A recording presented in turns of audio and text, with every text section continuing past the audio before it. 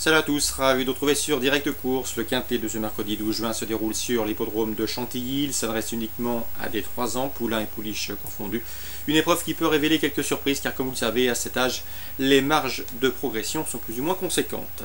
Euh, cela dit, j'ai fait confiance au, haut tableau dans cette euh, compétition. Le prix des coins a commencé par le 1 Tacchini, un cheval qui n'a jamais terminé plus loin que deuxième depuis ses débuts. Il est paré de la casaque de son Alkest euh, Lacacan. Sachez également qu'il dépend de l'entraînement de Jean-Claude Rouget. Un Jean-Claude Rouget qui sera également bien représenté avec le numéro 2 Chancelier, un cheval qui semble taillé pour réussir en semblable société, même s'il est pris relativement haut sur l'échelle des valeurs en 39,5. Donc attention de protéger de Jean-Claude Rouget. Le numéro 3, Moodish, qui avait bien débuté euh, par un succès, me semble également en mesure de bien faire dans ce handicap. Bref, le 1, le 2 et le 3 euh, auront mes préférences dans ce quintet plus pour la suite et la fin de ce pronostic euh, pour ce quintet. Je vous invite à vous rendre dans la rubrique pronostic car j'ai quand même pas mal d'informations à vous transmettre en réunion 2 euh, concernant la réunion de Vichy, notamment Romuald de Goujon qui présente le 105 Ursula du stade. La jument début de montée, mais attention, elle a bien travaillé à l'occasion d'une course école disputée euh, dernièrement. Elle est faite pour porter l'homme et elle se plaît sous la selle. Ici, son entraîneur l'estime capable de terminer sur le podium. Il y aura sans doute une belle cote sur ses chances. Je lui opposerai le 103 Victory Marceau, à racheter après une disqualification enregistrée sur ce même hippodrome de Vichy. Elle est estimée par Grégory Laurent, il la juge capable de bien faire à ce niveau. Le 110 euh, Vélinote du Derby, confirmé sous la selle et régulière, devrait également euh, faire partie du trio de tête.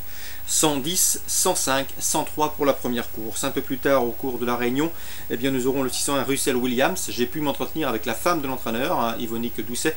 Madame Yvonique Doucet qui nous a confié euh, que le cheval était bien, qu'il avait certes des performances autre montée, mais qu'il se plaisait également à l'athlé.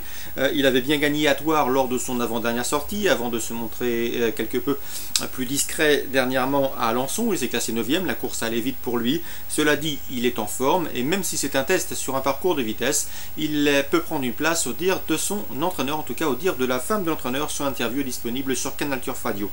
Je lui préférais toutefois le 602 Tino Laravel, qui a vraiment tout pour lui dans cette épreuve.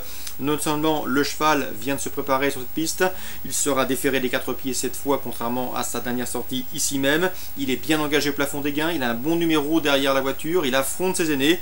On s'attache les services de Tony Le Belair, bref, tout est réuni pour que le cheval fournisse le lauréat de cette épreuve, le 602 Tino Laravel.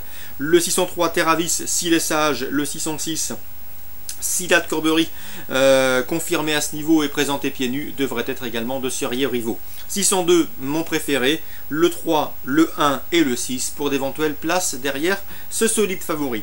Dans la 7 je vous conseille le 712 Volos des Bassières, un cheval tenu en estime et préservé par son driver Alexandre Vissoc. C'est un cheval de qualité. Euh, d'après son entraîneur, il peut collectionner quelques succès avant euh, euh, d'atteindre le compte qu'il mérite. Donc attention, 712 Volos des Bassières. À mon avis, il s'annonce redoutable pour la victoire dans ce lot. Le 709 Vino Verde et le 705 Vézac Douofi qui ont en commun de rester sur une victoire sur les programmes de Paris, respectivement obtenus les 12 et 31 mai, euh, peuvent également faire l'arrivée de cette compétition. Notez que le 705 euh, sera déféré les 4 pour l'occasion. Le 712, le 709 et le 705, course ciblée à Vichy en Réunion 2, la première, la sixième et la septième, sachant euh, que mes coups de cœur seront le 602 Tino Laravel et le 712 Volos des Bassières. Très bon jeu à tous, bonne journée et à très bientôt sur Direct Course.